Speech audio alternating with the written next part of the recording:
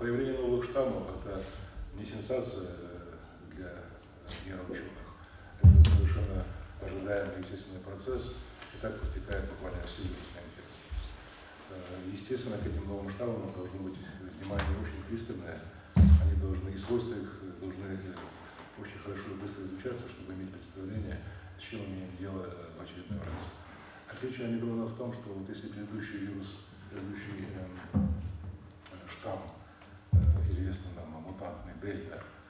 он от исходного нулевого варианта отличался тем, что имел свою трансмиссивность, способность заражать, передаваться от человека к человеку в четыре раза выше э, исходного варианта и имел, э, давал большую нагрузку на, на организм и давал большее число осложнений и тяжелых форм, то омикрон, он э, распространяется еще в четыре раза быстрее, то есть уже такая прогрессия этого свойства, а его патогенность и способность давать тяжелые формы на самом деле ниже, действительно ниже. Это нас не должно, потому что э, рост, значительный рост числа заболевших э, будет все равно давать определенный процент.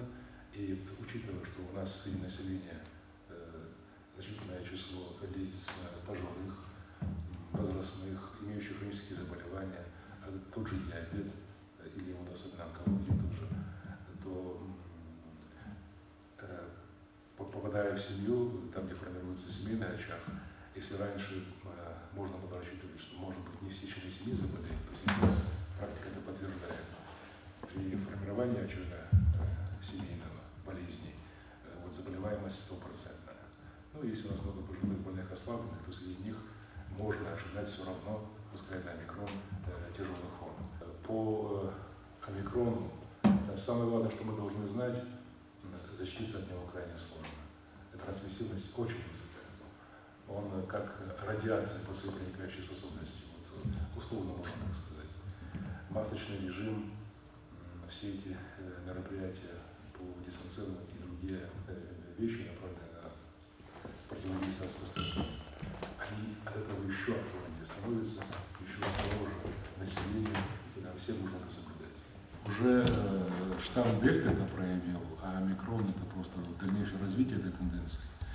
Э, растет число бессимптомных форм.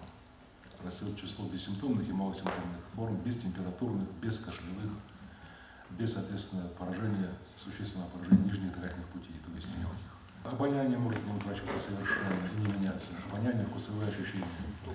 И э, практически здоровый человек, который себя чувствует как, как всегда, у нас таких случаев уже растет уже статистика. Э, анализ вдруг выявляет. Вдруг внезапно анализ выявляет, и это уже э, диагностика заболевания.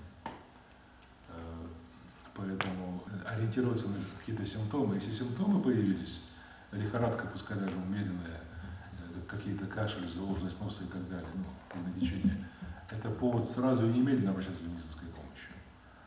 А отсутствие симптомов или малая выгодность не, не является э, признаком таким. Самое главное знать, был контакт или нет. Ну а если мы находимся на улице, работаем в коллективе, э, перемещаемся среди населения, то будьте уверены, вы контактируете, каждый из вас. Вакцинация защищает от развития болезни. То есть в организм попадает, э, человеческий организм попадает вирус, когда он сталкивается с, с подготовленной иммунной системой, с наличием Э, серьезного типа антител. И вирус, э, он уступает в этой борьбе с антителами. Э, человек переносит, наиболее часто переносит в легкой бессимптомной форме.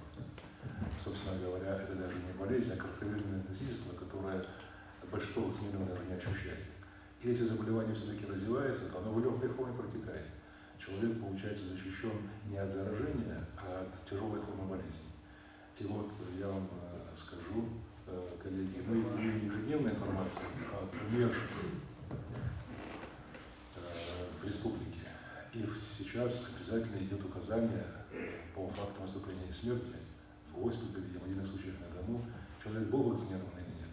Я вижу эту статистику ежедневно, и я вижу, что практически всегда, где наступила смерть, имеется указание не вакцинирован.